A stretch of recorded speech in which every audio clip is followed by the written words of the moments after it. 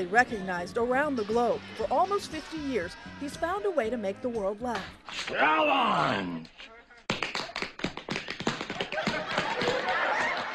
Every Thursday night for eight years, Americans gathered around their TV sets laughing at the hilarity of Cliff Huxtable.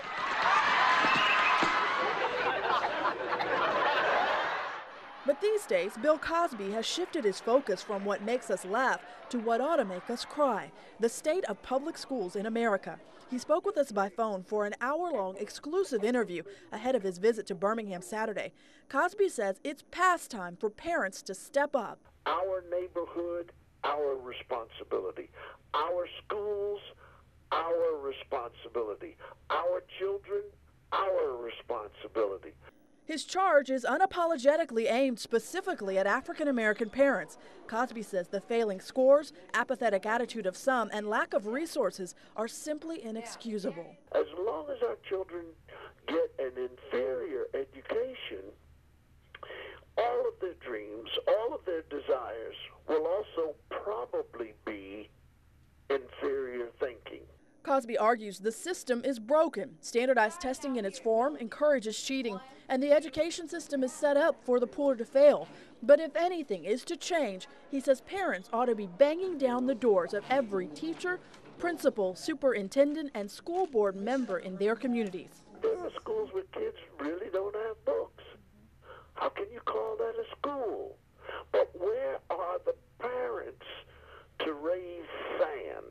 Eight years ago, Cosby realized he ought to be part of the solution. He decided he would pay to send four poverty stricken men from Springfield, Massachusetts to Hampton University.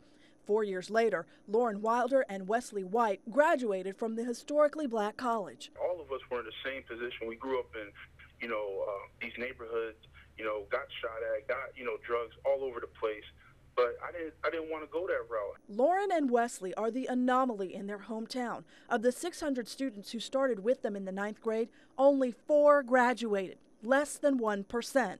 Lauren is now applying to Florida A&M University for law school.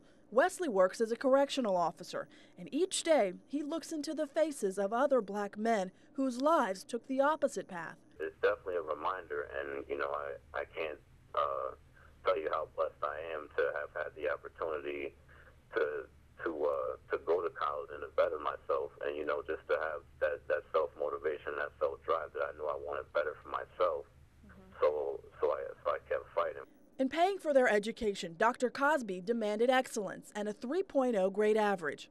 To just go through and say, uh, I'm going to graduate, uh, thank you, Lottie, uh, you, right. you, know, you're just happy to be getting out of there. But when you graduate summa cum and all of that, then there's a different thought.